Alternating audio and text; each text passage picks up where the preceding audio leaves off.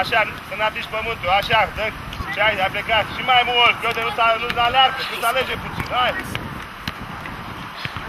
La baza Colterm din Timișoara se desfășoară în aceste zile un curs de pregătire fotbalistică a copiilor, Marcel Reducanu Individual Football Training. La pregătiri participă un număr de 26 de copii.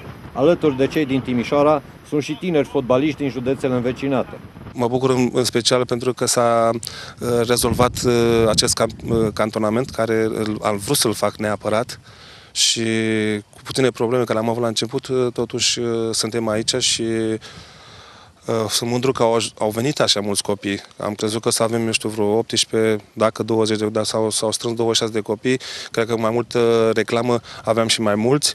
Uh, și dacă era într-adevăr cum a fost plănuit de la început, la început să avem 45 de copii, să venim cu patru antrenori din uh, Germania, dar totuși e ok așa. Fostul internațional, stabilit acum în Germania, se ocupă cu creșterea și descoperirea de talente.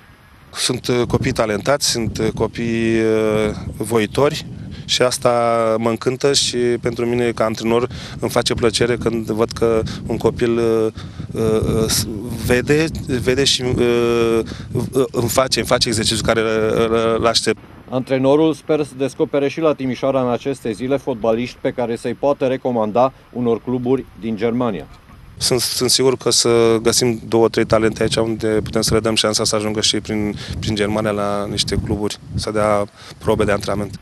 Printre cei mai cunoscuți fotbaliști antrenați de Marcel Răducanu a fost și Mario Götze, recent transferat de la Borussia Dortmund la Bayern München ca Gheoțe să nasc la 30-40 de ani, cum e Messi, cum, e, cum a fost Maradona, deci ăștia sunt jucători de excepție care se nasc, eu știu, la 10-20 de ani.